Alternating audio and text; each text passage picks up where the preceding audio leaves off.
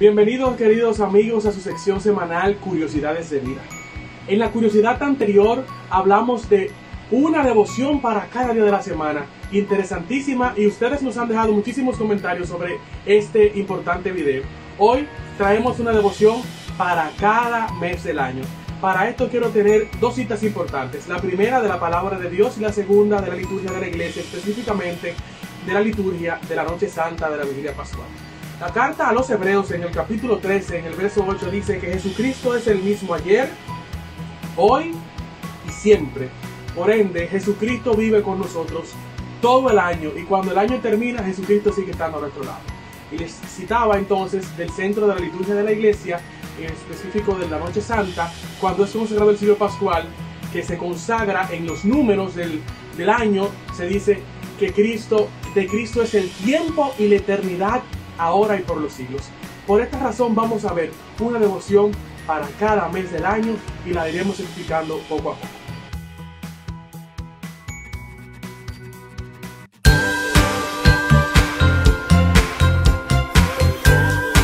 Guiados por estos dos textos, tanto de la carta a los hebreos como de la liturgia del sábado santo, cuando es consagrado el siglo pascual, vamos a caminar por el año. Comencemos con el mes de enero, que es dedicado al santísimo nombre de Jesús.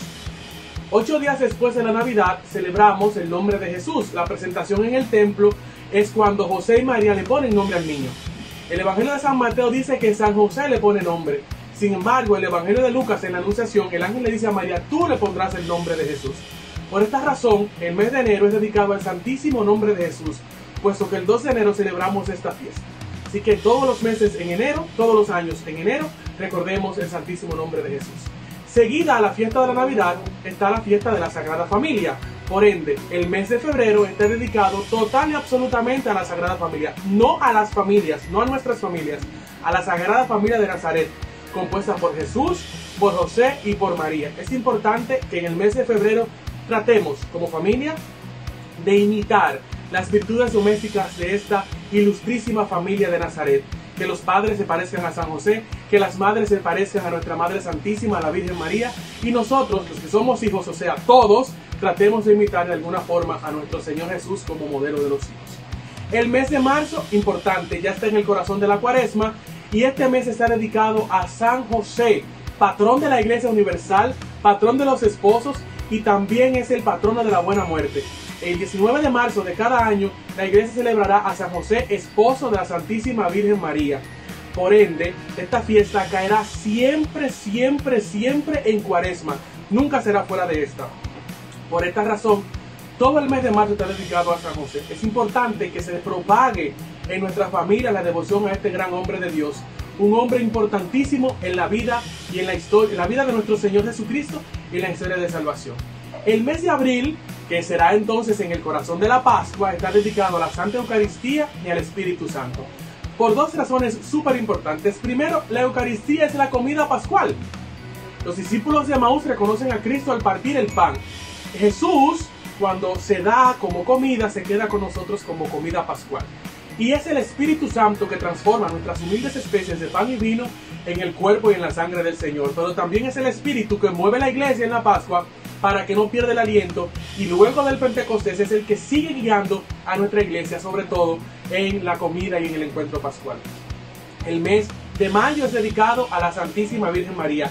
En muchos países del mundo el mes de mayo es el mes de las madres, el mes de las flores, y la flor más hermosa del jardín de Dios es nuestra Madre del Cielo. Por ende, el mes de mayo está dedicado a nuestra Madre del Cielo, la Santísima Virgen María. Es importante que en este mes siempre dediquemos algunas palabras todos los días a nuestra Madre del Cielo. En el mes de junio, el centro de este mes será el Sagrado Corazón de Jesús. Es una fiesta eh, posterior a la Pascua y a la Santísima Trinidad que siempre caerá en el mes de junio. Durante todo este mes recordamos a Santa María, a Santa Margarita María de Alacoque, a quien se le aparece y a quien el Señor le da la devoción del Sagrado Corazón de Jesús. Y esta mujer es la que le entrega a la iglesia esta devoción. Entonces todo el mes de junio, siempre, siempre, siempre lo dedicaremos al Sagrado Corazón de Jesús.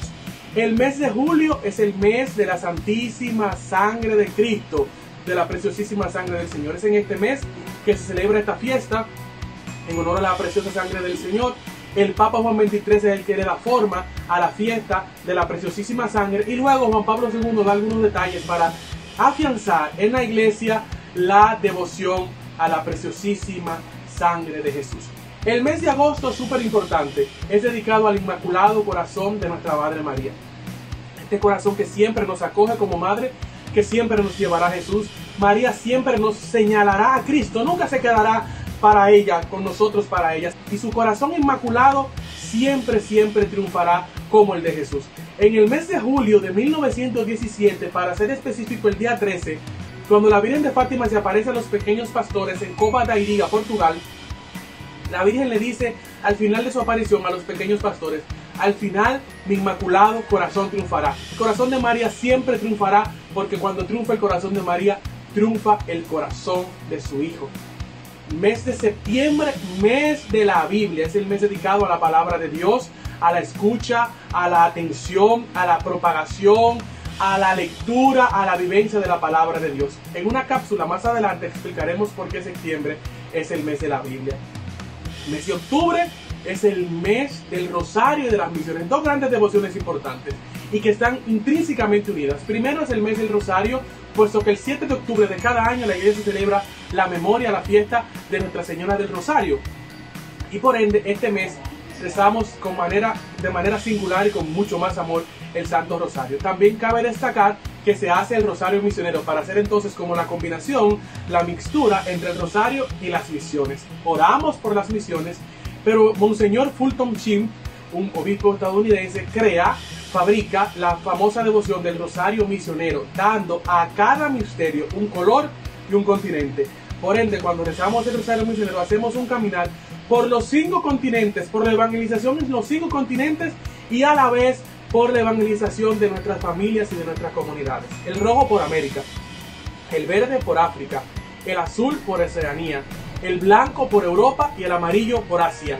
Cada color, cada misterio por uno de los cinco continentes. El mes de noviembre es el mes de las almas del purgatorio y en muchos países también se celebra el mes de la familia, pero la devoción oficial es por las almas del purgatorio. Es importante que este mes dediquemos siempre una oración diario por nuestros familiares, ya que es el mes de la familia, que se nos han adelantado en el signo de la fe, por los que han muerto. Es importante que recemos por nuestras, las almas de nuestros hermanos que están en el purgatorio o por los de los que han muerto. Haciendo entonces una combinación con el mes de marzo, que es la fiesta de San José, y el mes de noviembre, que es el mes de las familias, el mes de las almas del purgatorio, pidamos a San José que es patrón de la buena muerte, que cuando nos toque morir o a nuestra familia les toque morir, nos dé la gracia de ir al cielo.